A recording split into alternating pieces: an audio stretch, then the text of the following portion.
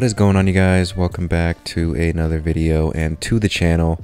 So in this video, I'm going to be showing you guys how I replaced the lenses on my headlights. So as you guys know, or for those of you who are new here, um, I had a custom retrofit done on my headlights on my E90. Um, I had aftermarket Angel Eye rings installed and they had the housing painted satin black on the inside and then I had the lenses also replaced um, at the same time. I had a professional do all of that for me, um, but um, right now, like I said, I'm going to be replacing the lenses again uh, myself because um, a while after I did the retrofit, this weird like buildup on the inside of the lens started to appear. I don't even know how or what it is or where it came from or how to describe it really. It just looks like kind of like condensation or like something was smeared on the inside of the lens. Uh, it started to show up um, after a few months of having them on. In addition to that, I also had an issue with one of the rings. Um, there was like a small dead spot on the driver's side um, outer ring. As you guys can see right here, this is what I'm talking about. You can see there's like a little spot there where it's not being lit up. So thankfully this actually happened before the uh, one year warranty ended. So uh, company, Bav Group Designs, actually sent out uh, some new rings so that um, I could have them replaced. Uh, uh, I recently had them replaced already by the same guy who initially did the retrofit Evil headlights. So in this video, I'm like removing the headlights because of that and so that I can replace the lenses. So as you guys can see right here, this is the other issue with the buildup on the inside of the lens.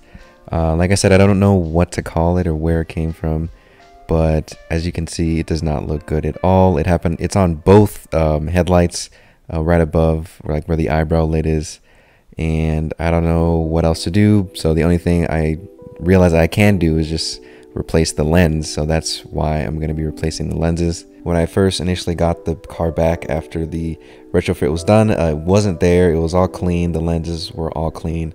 So I don't know where it came from or why it showed up. Uh, for a while now, I've, I've, kind of just been putting it off and just kind of ignoring it, but now I see the only way to get rid of it is just to replace the lenses again. And since uh, my headlights have already been opened up before, um, it's, it's pretty easy to open them back up again, so that's why I'm doing it. Um, and then I'm to show you guys how I do it um, in this video.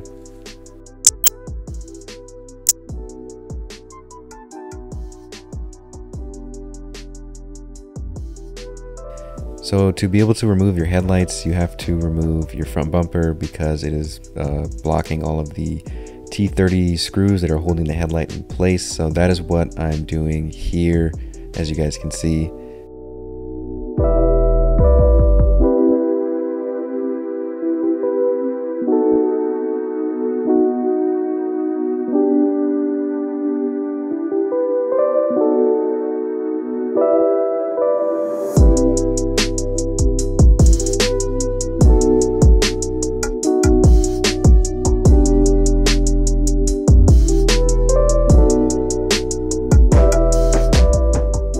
Once the bumper is removed, you can then see all of the screws that are holding it in place. There are five T30 screws holding the entire headlight to the car. And then there are two more T30 screws that are holding the headlight to like that bottom black plastic piece. So once you remove the five T30s that are holding the headlight housing to the car, the housing, the headlight will come out along with the black plastic piece on the bottom you then have to remove the two T30 screws to get it off of that black plastic piece. As you can see here, uh, it does take some like wiggling and finagling to get it out of place. And then the two screws that are holding it to the plastic piece are kind of at an awkward uh, position. So you kind of just have to hold it in an awkward way and then use your um, T30 bit to uh, remove the screws. And then once you remove all the screws, you can then disconnect the electrical connection at the back of the headlight.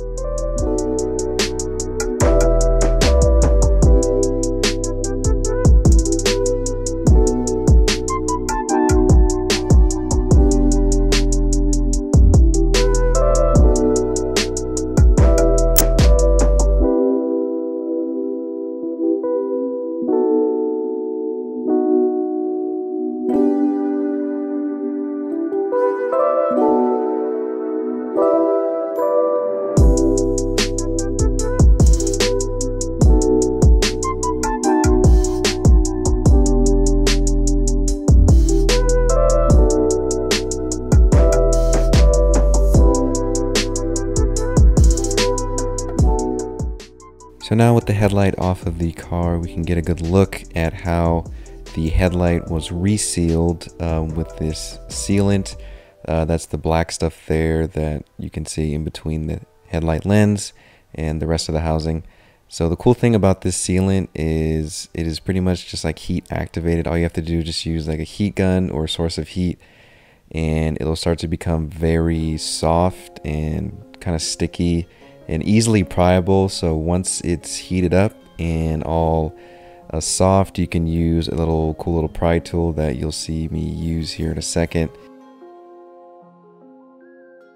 So here you can see me use that tool I was talking about. It basically, you just squeeze it together and it pries open uh, the lens away from the housing. This is a very useful tool when doing headlight retrofits or opening up your headlights. Also a quick note, if you are doing this for the first time and your headlights have never been opened up before, it is going to be a bit more difficult because the headlights have never been opened up and it still has the factory glue to seal them together and it's been there since the car was manufactured which is if you have an E90 it's at least 10 years so it is going to be harder um, and you will probably have to put the headlights in an oven at like 400 to 500 degrees for a few minutes and really like pry the headlight lens off uh, so it is just going to take a bit more strength and a bit more time uh, it won't be as easy as I present it here uh, in this video since my headlights have been opened up before. I would recommend doing additional research if that is your situation so that you get a clear understanding of how to remove the lens with the factory glue. However, everything else after that, you could just follow the steps I take in the video. Now with the lens off, I can give you guys a better look at these Angel Eye rings from BAV Group Designs. So they're basically like separate rings uh, that are glued on top of the original stock angel eye rings that originally come on the xenon headlights from the E90 chassis. Um, as you guys can see, the wiring is all tucked away back there, and it's covered by that black plastic piece that's inside the lens that I'm going to be removing in a second here. If you still have questions about these, feel free to comment down below um, in the comment section. I'll try to clarify as best I can. So now, like I said, there is still a separate piece that's still uh, inside of the lens uh, that black piece you see there is attached to the lens by six T10 little tiny screws. So that is what I'm doing here.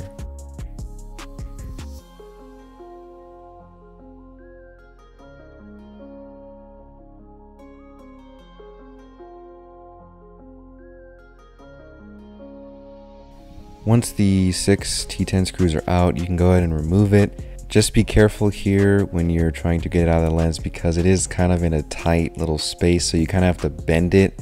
Uh, just be gentle and slowly bend it so you don't break anything. So here's the inside of the lens uh, without the black plastic piece and you can see the little marks that I was showing at the beginning of the video of why I'm replacing these. Um, when I try to like kind of like use my finger to smear it off it doesn't come off. So it's really like caked on there whatever it is so here I have a roll of new sealant that I'm going to be using to reseal the headlight with the brand new lens I'm going to be putting on. Um, this is, I'm pretty sure this is the same stuff that the guy used to seal the headlights. Uh, I got this off Amazon. Um, I'll link it down below if you guys want to check it out. So here I'm putting the new sealant in little like groove there that the uh, headlight lens will fit into and then seal together with the rest of the housing. So I'm kind of stretching out the little string of sealant there so that it fits inside the groove and I'm putting it uh, all around the entire housing.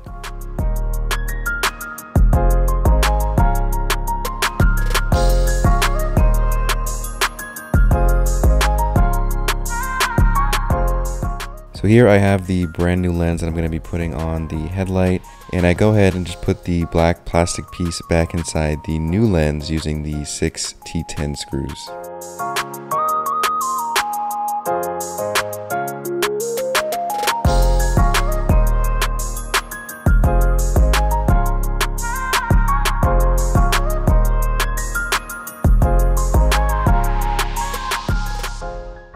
Before I put the new lens on, I go ahead and heat up the new sealant that's on the housing so that it becomes very soft and I can easily form it into whatever shape it needs to be in for when I press the headlight lens and the housing together.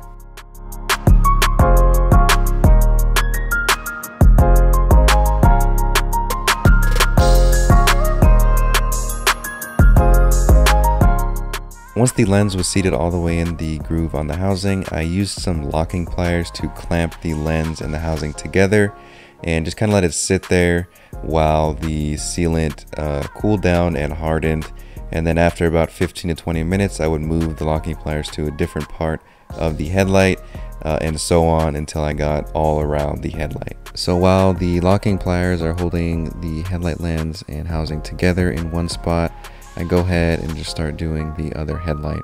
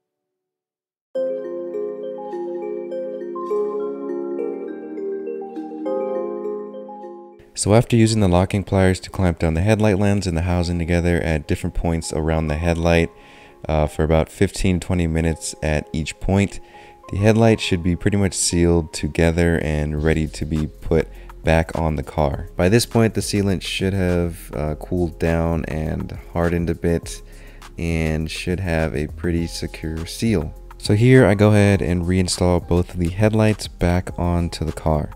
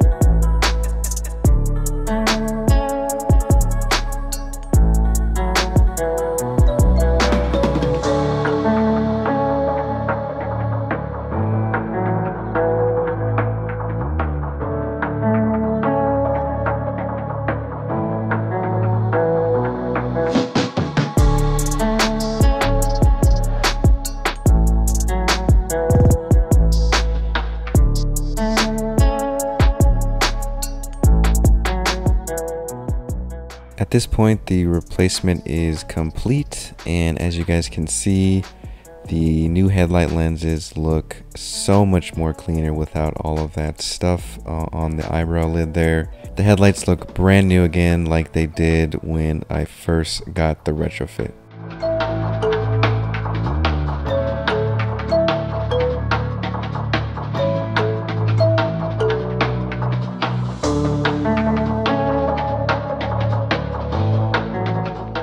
I ended up putting some paint protection film on top of these headlight lenses so that it has some protection against rock chips and other road debris that may strike the lenses. I do recommend that so that these lenses last and stay looking clean as they do now. Alright guys, so that is going to do it for this video. If you have any comments or questions, as always, comment them down below and I will respond.